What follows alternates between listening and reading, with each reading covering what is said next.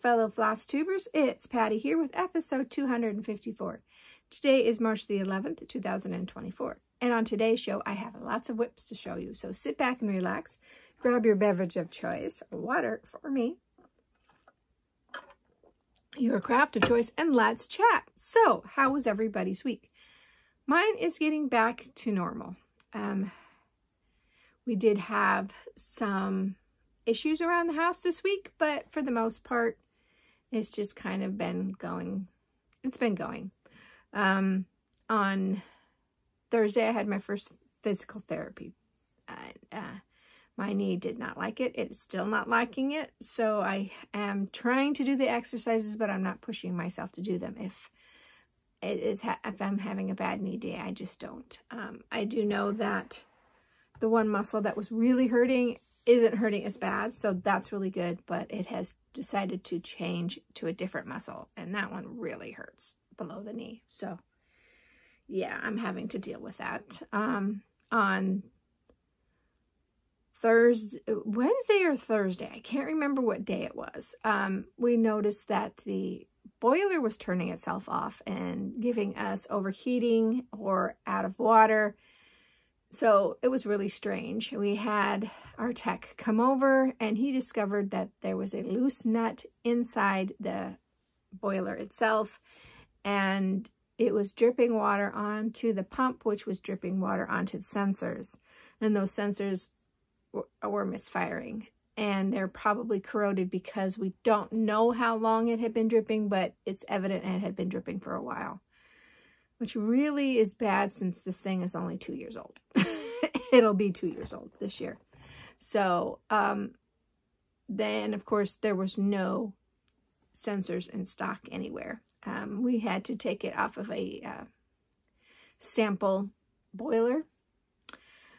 And um, so they're sitting here waiting for the tech. He called out sick today. We're, we still have heat. It's no big thing. It shuts itself off once a day with the overheat code. Um, I turn it back on. She runs again for another 24 hours and then I have to go redo it. So it's it's kind of strange how it's happening and it's it's weird. It's weird, but it's keeping the house warm. It's keeping the water heated. And of course, it is the main boiler. Um, if you've been here for during our remodel, we have two boilers, one for the new section of the house and one for the old. And the old one has the wa hot water heat heated through that system as well. So when that main boiler goes down, we have no hot water too. So that one is really important. Um, so yeah, hopefully he will be feeling better in the next couple of days and can fix it. Um, the temper, it's still, I mean, it's cold in the mornings, but it gets above zero in the afternoon. So it's not like it's running constantly either. So I think that's probably why too it's not triggering a lot is that it's it's not running a whole lot because of the temperature. Um anything else? Friday we did have the garage door replaced. They he did come. We got a brand new garage door. It is so quiet. it is so quiet. It's crazy. Um, and um, and it is helping keeping the garage warmer. It, it, went up at least five degrees. And I know that doesn't sound a lot, but it, it's a lot. Um, taking it from 40 to 50s. And the, from the 40s to the 50s in that garage is pretty good. So the less likely to have it freeze up. Um, and that's at the back of the garage. So the front of the garage is warmer because of the heat that's getting pumped in there. So that's that's nice to know that the back of the garage is warming up now. And the front of the garage will be warmer. Um, Sunday we had the littles. Um, their Mimi is visiting and they're really happy that Mimi is visiting and um, they're having a good time. And we had a great time playing and the littlest man and I cuddled for a long time. And he usually doesn't do that very often, but he sat in my lap the whole time while we watched Gnome Alone. That's their new favorite movie. So Grandma has seen it two and a half times. it's cute. It is a cute movie. And then we watched another movie, and The Littlest Man. It was a movie he picked, and it, it was scary, he said. so he sat with Grandpa during that one. Um, yeah. Anything else? I think that's it. So shall we get on with the stitching? I think so. All right, we had a Mira Monday last week. I worked on Touching the Autumn Sky. I am stitching her on 32 Count Stormy by Picture This Plus. And I did finish the back of the apron except for the beading. And I started working on her legs and the dress. So yay for that. I'm really hoping to get this done in the next couple of months. But Mondays are so hard. I do this. I do laundry on Mondays.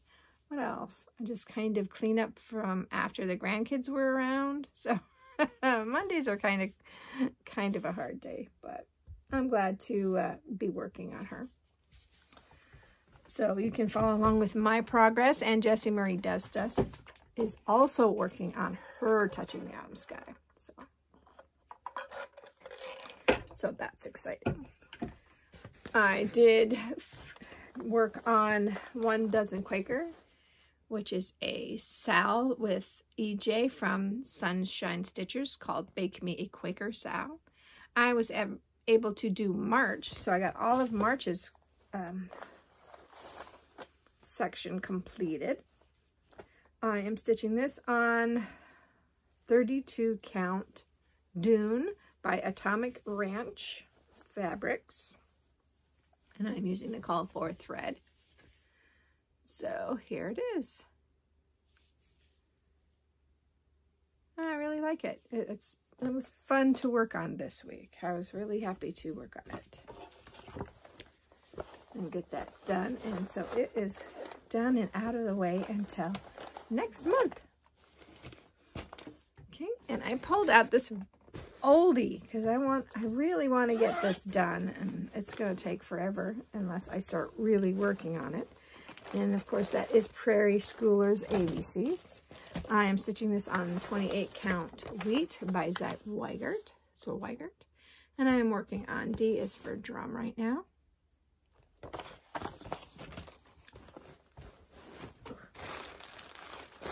Okay, and I almost finished the drum.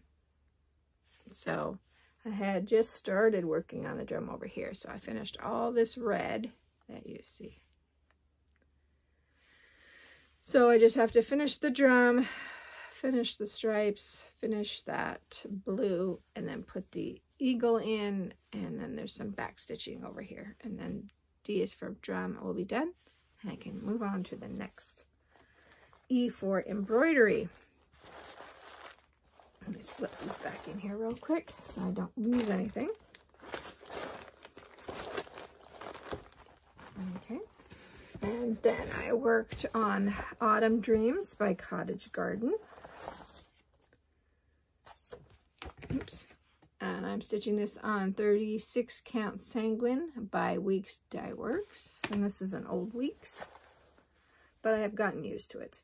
And I'm using one thread over two I finished this um, leaf, started working on this leaf, and I worked some more on the uh, vine that wraps around the word dream and the pumpkin and that. I think that's a tick mouse, but I'm not sure. But so I am over here. I have some more of this vining to uh, stitch. I have that I have the pumpkin and the bird. So I still have quite a bit to do, but I think I can finish that this year. As long as I keep working on it. This is the pile over here that I pull for um, first. And then if I can't figure out what I want to stitch, then I go over to a different pile. I then worked on Gamer Nouveau by Medusa Dollmaker, charted by Gecko Rouge. I'm stitching this with the for floss and fabric. This is on 25 count, 1 over 1. And I got about 400-ish stitches done on this this week. Most of it was on Saturday and Sunday. Actually, most of it was on Sat Sunday. I just wasn't feeling stitching this this week, so I watched TV and did the VR, and that's what I did. I talked to two of my cousins back from back east, so that's awesome. Hi. Um, yeah. So, other than that, that's about all I did. I didn't even touch my stitching, or my knitting, I mean. Sorry about that. And I did do some purging. I'm still having to purge more stuff. Trying to get rid of the stuff that I know now I don't need to keep anymore. Um, so, yeah, it's purging time. Big time purging time. So, looking around, I really don't have anything else to talk to you guys about. I do have some plans. They're really loosey-goosey. Of course, my Mira, the ABCs. Um, I don't have to do the um, one dozen Quaker since I'm caught up. But yeah, I think that's all I have for you this week. So I hope that you are all staying safe, healthy, and happy. And I hope that whatever you craft, you craft it to your heart's content. And I will see you next week. Bye, guys.